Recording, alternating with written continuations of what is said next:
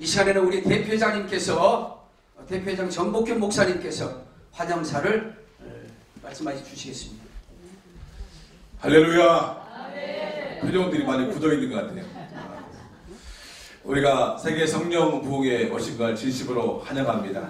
제가 세계로 뻗어나가는 단체인데 이 국내에 어, 전국에 다 모였습니다. 강원도에서 대구에서 그리고 전남도 광양에서 김제 고흥까지 모였습니다.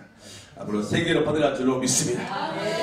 제가 우리 대표 총장님 목양실을 수십 번 방문했는데 그동안 못 느꼈지만 엊그저께 식탁 위에 쓰인 글자를 봤습니다. 돛담배로는 태평양을 건널 수 없다.